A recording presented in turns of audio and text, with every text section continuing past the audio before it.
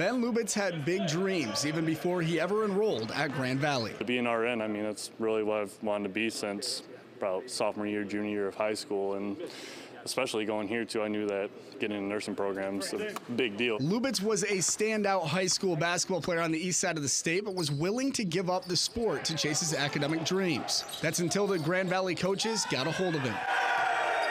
Somewhere along the line, we got wind that he was coming to school here. We knew he was a good player. We called him, we invited him to try out. He tried out.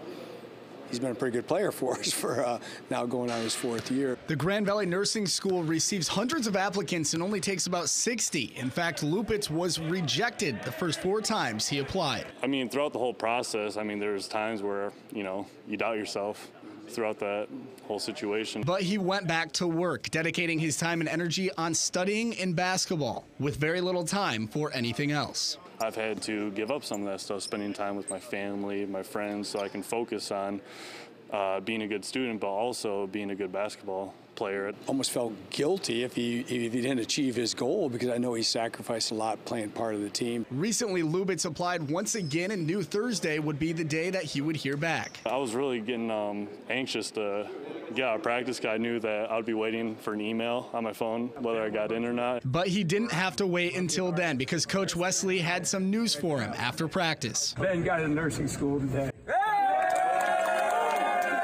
Having coach tell me is probably that's the best way to find out, and with having all my friends around me, my teammates enjoying it with me, uh, everyone jumping up and down celebrating. I was a little bit emotional about it because uh, I know how what it meant to him and how hard he's worked, and I think a lot of our team felt the same way. So that was super cool. It's a moment that the Grand Valley senior will never forget.